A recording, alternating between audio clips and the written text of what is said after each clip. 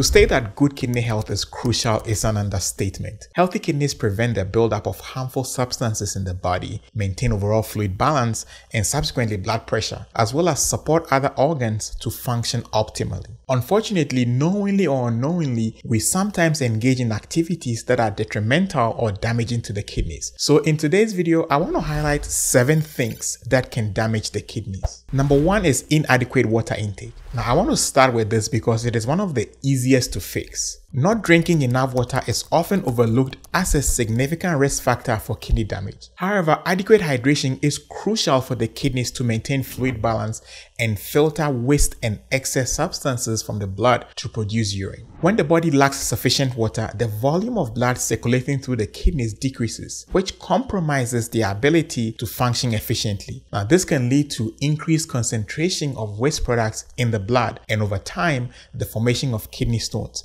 which are hard deposits of minerals and salts that form inside the kidneys. A study conducted in 2020 found that low fluid intake is one of the most common causes of kidney stone formation. Now, these stones not only can they cause severe pain and blockages, but they can further impair kidney function. So if you are constantly thirsty, have dark, yellow, strong smelling urine, or if you are peeing less often than usual, or if you have dry mouth, lips, and tongue, and sometimes even sunken eyes, it may be your body telling you that you are not drinking enough water. It is crucial to rectify the situation to avoid any damage to your kidneys. Number two, high blood sugar levels. Now, high blood sugar commonly observed in diabetes or even sometimes pre-diabetes is one of the leading causes if not the leading cause of kidney damage. This occurs because elevated glucose levels in the blood can harm the kidneys in several ways.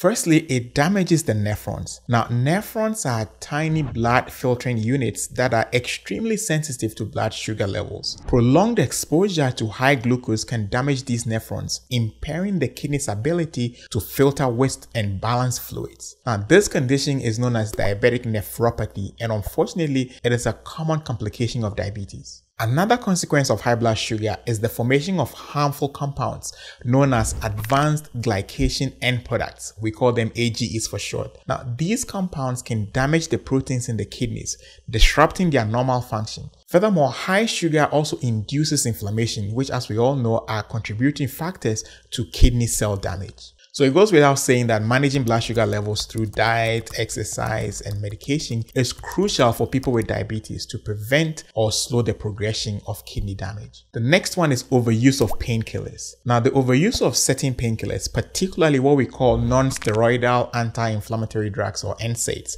uh, typical examples are ibuprofen and naproxen, can lead to significant kidney damage. Now, while these medications are effective for pain relief and reducing inflammation, they can have adverse effects on kidney kidney health when used excessively or for prolonged periods. Uh, these NSAIDs work by blocking substances in the body that cause pain and inflammation, but this process can also reduce blood flow to the kidneys. This diminished blood flow can impair kidney function, especially in individuals with existing kidney problems or at risk of kidney disease. Additionally, the use of NSAIDs can also lead to retention of sodium and water, further stressing the kidneys and potentially exacerbating conditions such as high blood pressure, which in itself is a risk factor for kidney damage. It is essential therefore to use these medications only as directed. Best practice is to use the lowest effective dose for the shortest duration of time possible and by all means talk to your doctor if long-term use is intended to minimize the risk to the kidneys. I have a video in which I go into detail about this as well as other medications that can potentially harm the kidneys.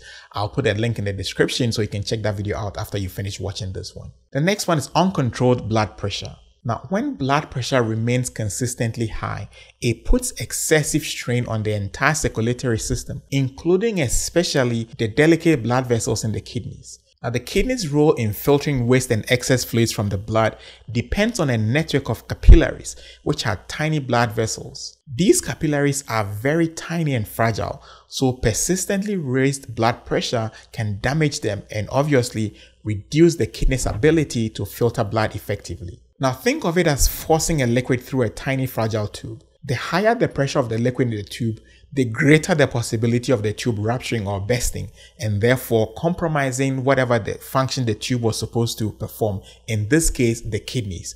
High blood pressure leads to rupturing of the capillaries, which in turn leads to compromising the kidney's ability to filter substances or excess uh, waste from the body. This reduced filtering capability results in accumulation of harmful substances in the body, which can further worsen kidney damage. As kidney function declines, it becomes harder for the body to regulate blood pressure, creating a vicious cycle where hypertension perpetuates kidney damage and vice versa. Therefore, it is essential to manage your blood pressure, whether this means taking your medications as prescribed and as directed, whether it means watching your diet, whether it means exercising regularly, whichever one applies to you, make sure you are doing it to prevent kidney damage down the line. The next one is chronic or untreated infections. Now, chronic infections, especially those that affect the urinary tract, can be harmful to the kidney health. If an infection spreads to the kidneys, it can damage the kidneys. Urinary tract infections, or what we normally call UTIs, usually start in the bladder or the urethra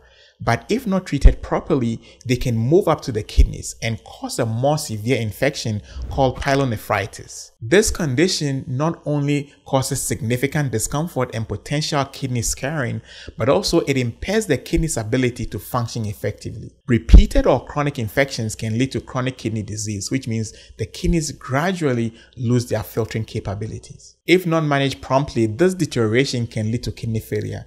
Now, the risk is even especially high in people with weakened immune systems or people with pre existing kidney conditions. Therefore, timely diagnosis and treatment of UTIs and other infections is crucial to prevent potential kidney damage and preserve overall kidney health. Now, let's talk about another interesting one processed foods. The consumption of processed foods can adversely affect kidney health, primarily due to their high levels of salt, phosphorus, and certain additives. Processed foods such as canned soups, deli meats, and fast food items often contain excessive amounts of sodium, which is a contributory factor to hypertension, and as I just explained, which is also in itself a risk factor for kidney damage.